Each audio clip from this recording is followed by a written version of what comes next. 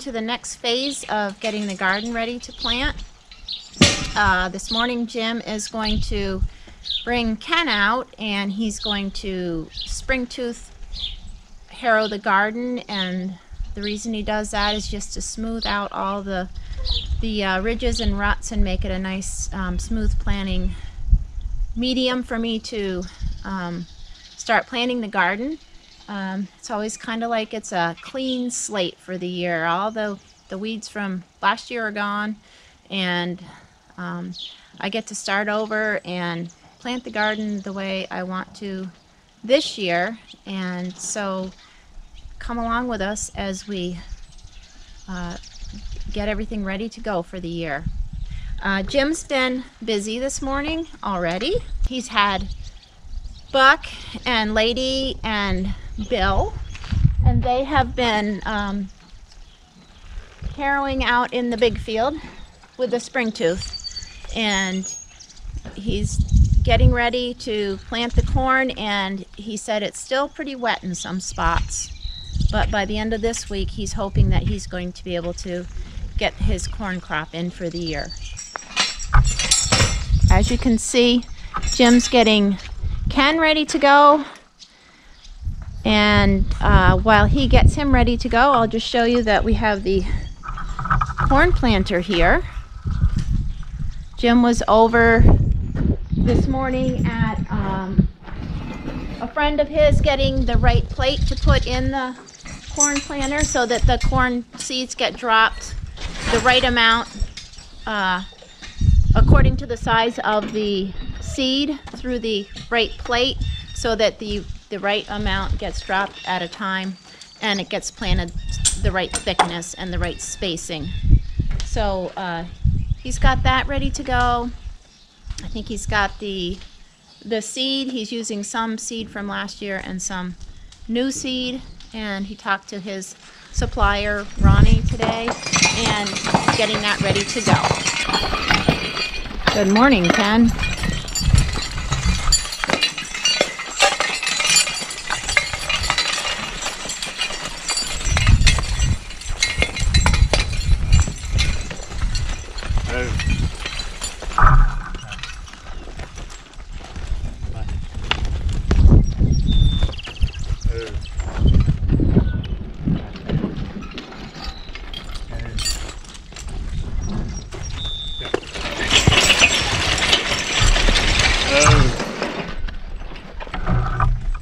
Can you just hold him? Or just give me it.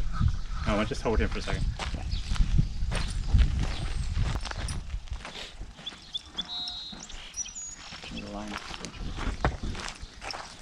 Oh! Jim just told me he's putting on a line extension so he can stand easily, more easily behind the spring tooth.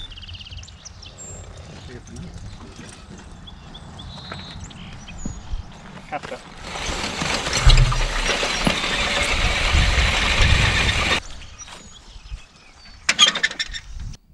So here I'm just putting the spring tooth, lowering it down so it's going to dig in the right depth that I want it to be pulling at. And off we go.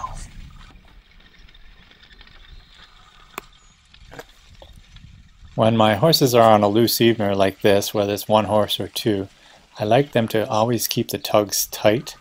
And when I'm turning sharp turns like this, I want them to keep the tugs tight and not, not have that slack. I don't want them to just to stop and back up and then turn. I want them to keep tight tugs so that they never get into trouble by stepping over the tugs and uh, it just makes for a smoother, better pull around corners. It sure does cover a lot of area one time around.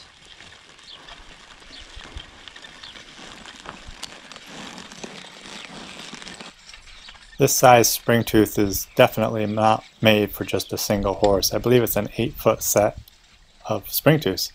But uh, when you're in a small little spot like this in a garden, it works really good just to have one because of the maneuverability of one horse. With two, it's a lot more difficult to turn around like this. generally with this spring tooth I would have two and a lot of times even three horses on it.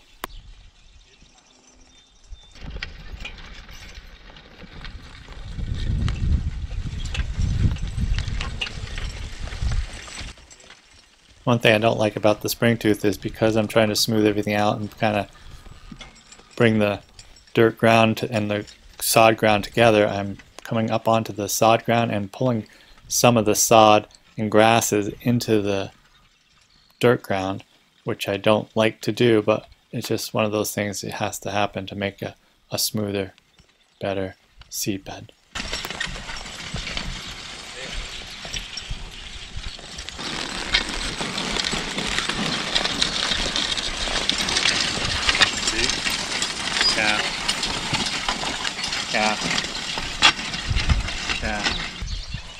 This is way too much garden for the two of us.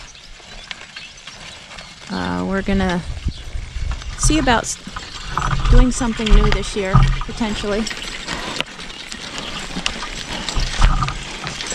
We're gonna look into potentially planting a little bit of grain at the end of the garden. But I'm doing a little research on that. Oh. What do you think? I think it looks good. I mean, sure, there's a lots of little stones in here and whatnot, but I can. But should I run it crossways again or no? Maybe I should just because Well, it'll be easier to plant because I won't see all these things, and the rows you mean. yeah, I mean, I hate to make Ken do all that extra work. Good one.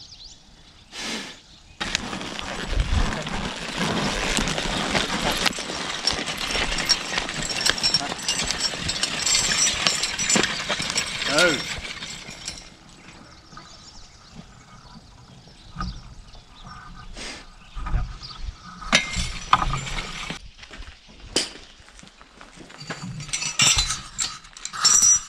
So I planted the garden, and here we are a couple days later.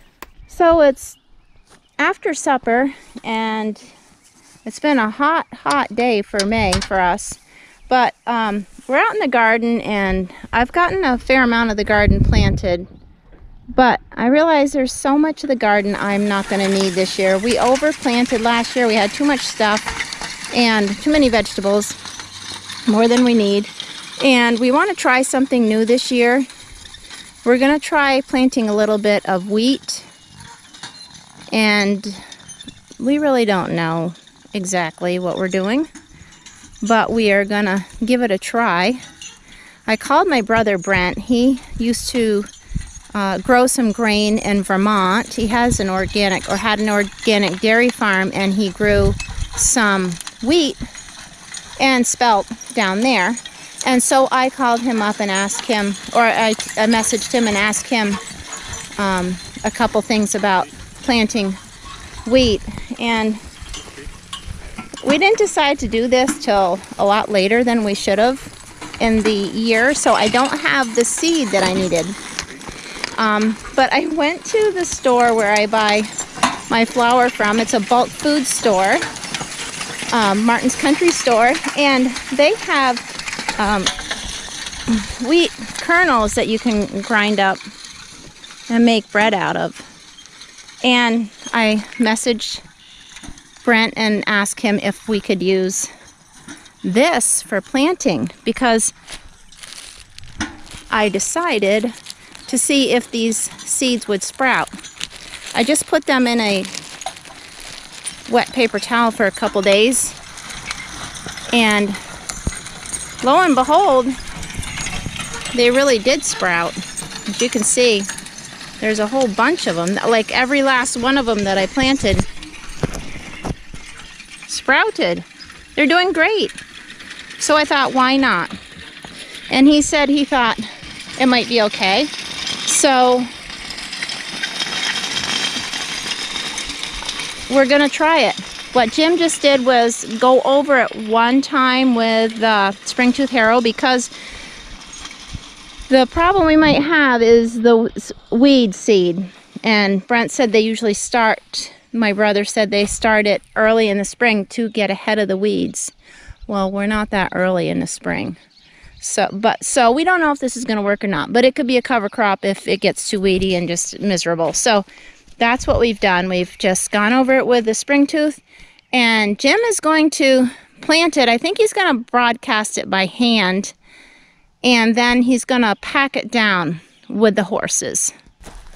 Before we start planting, I just wanted to make one more row, just in case uh, we need an extra row for something I forgot I needed to plant. Just go break it down beside that row. Okay. This is a job you're good at. This is a row marker that Jim made for me last year that makes planting much easier. I just have to keep my rows straight. You're doing fine. G over a little bit. You're doing fine. You're fine. Okay, so I'm going to plant this this wheat. Uh, I don't know how well it's going to work, but we're going to use this old uh, cyclone bag. This is actually fairly common. You can still buy these nowadays. And you just put the wheat in there, and then there's adjustment to say how much wheat, how much to put on for different crops. And we have no idea what we're doing, so we're just going to guess. I was going to just throw it on by hand, and I may still if it does, doesn't work, but we're going to try this first and uh, see what happens.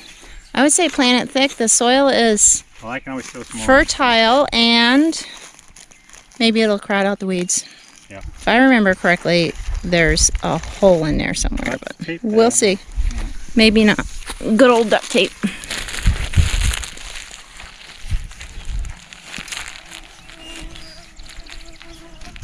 That's coming out a little bit, but not too bad. So you want me to walk down like Right there's there. Yep, right there, three feet from that row. okay. That's not enough. Uh, black flies are out tonight.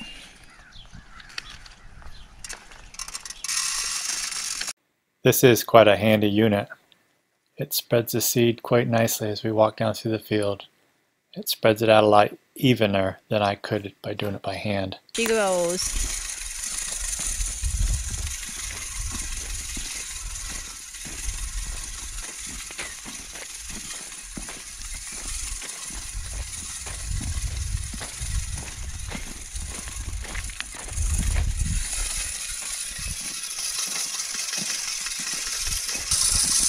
So this is bag number two because we decided to just make sure it had plenty of seed on here.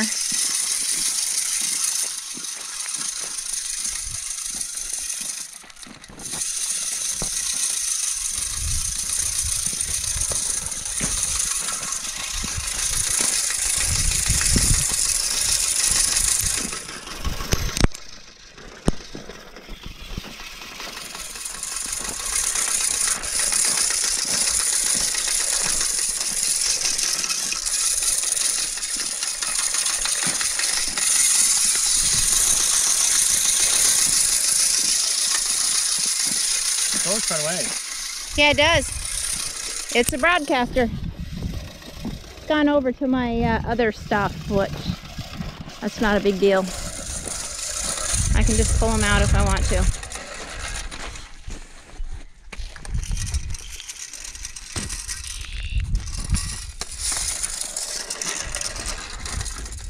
So this is going to be exciting. Try something new.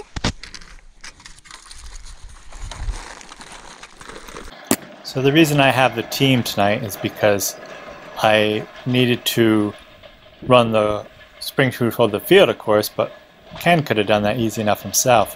But then I also knew after I planted the corn, uh, planted the wheat, I wanted to use the cultipacker, and that's the roller behind this spring tooth that I have set up here.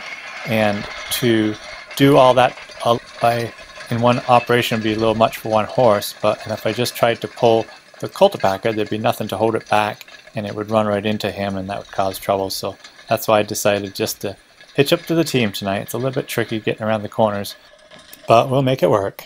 Looks like it's most of it's got covered up with this little arrangement.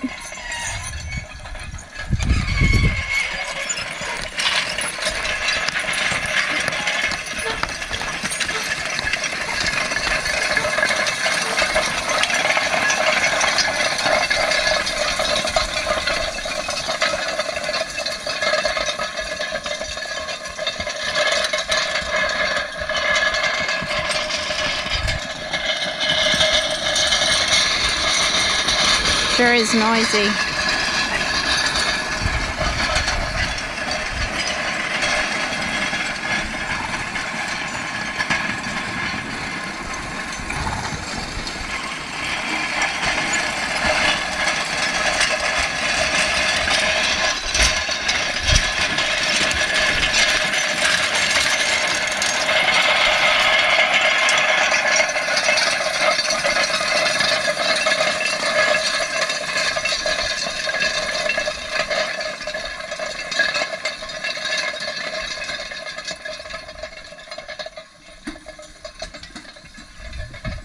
Really looks nice. Looks great. Yeah, looks really good. It covered up most of it. We'll see what happens. Alrighty. I just got a couple more rows to plant and we'll be all done planting the garden this year. I gotta put my tomatoes in, plant some carrots, and I've got everything marked off as to what it is. I've got my peppers out here and they're protected a little bit with some containers that I put over them just because the wind really does a number on them and sometimes the sun. So I just put them inside some little plastic containers and my um, cabbage I did the same thing. So, so anyways, we'll see how the garden grows.